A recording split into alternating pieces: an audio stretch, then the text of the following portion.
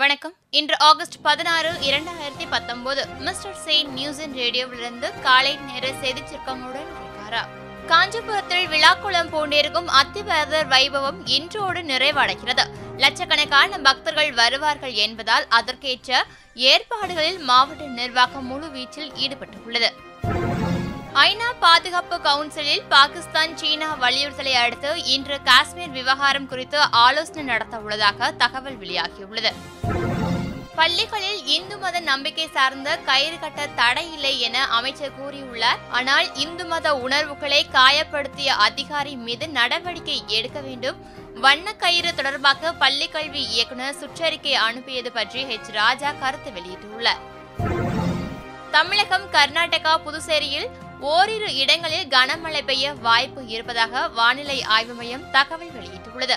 நாளை முதல் வட மாநிலங்களில் படிப்படியாக மழை குறையும். அரபிக்கடலுக்கு மீனவர்கள் மீன்பிடிக்க செல்ல வேண்டாம் என்றும் எச்சரிக்கை விடுத்துள்ளது. மேட்டூர் அணைக்கு நீர்வரத்து ஐம்பதாயிரத்திலிருந்து முப்பதாயிரம் கன அடியாக குறைந்துள்ளது. மேட்டூர் அணையில் காவிரி டெல்டா பாசனத்துக்காக வினாடிக்கு பத்தாயிரம் கன அடி நீர் வெளியேற்றப்படுகிறது. விமர்சிப்பவர்கள் ஒரு பொருட்டல்ல என்றும் குறை இருந்தாலும் களத்தில் நின்று அர்ப்பணிப்புடன் பணியாற்றுபவர்களுக்கே ஒட்டுமொத்த பெருமையும் வந்து சேரும் என்றும் தமிழக டிஜிபி ஜே கே திரிபாதி தெரிவித்துள்ளார். காஞ்சிபுரம் வரதராஜ பெருமாள் கோவிலில் அத்திவரத தரிசனம் இன்றுடன் முடிவடைவதை அடுத்து நாற்பது நாட்களுக்கு மேலாக பாதுகாப்பு பணியில் சிறப்பாக செயல்பட்ட காவல்துறையினருக்கு பாராட்டு தெரிவித்து டிஜிபி திரிபாதி அறிக்கை ஒன்றை வெளியிட்டிருந்தார். Tamil Nadu premier league twenty cricket தொடரில் சென்னை சேப்பாக் சூப்பர் கில்லிஸ் அணி சாம்பியன் பட்டம் வென்றுள்ளது. இறுதிப் போட்டியில் திண்டுக்கல் டிராகன்ஸ் அணியை சென்னை அணி தோற்கடித்துள்ளது.